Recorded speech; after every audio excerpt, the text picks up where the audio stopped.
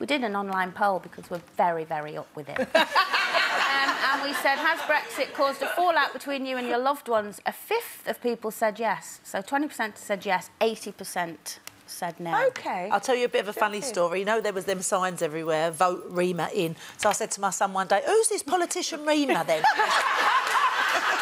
Only you, Linda. and that, that is the level of debate.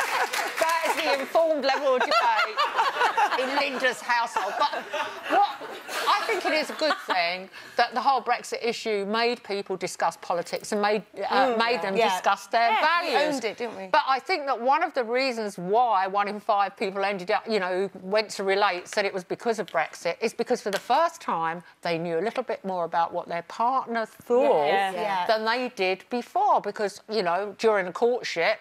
And you know the exciting part of sex, and then that's worn off, and you're living together, and blah blah blah. You're not exactly revisiting politics, Yeah, are you're you? not, absolutely. And I think that that, as you said, Colleen, it was on the television every day. It was something we couldn't get away from. So suddenly we had to discuss Yeah, stuff with our partners that we might not have done Yeah. before.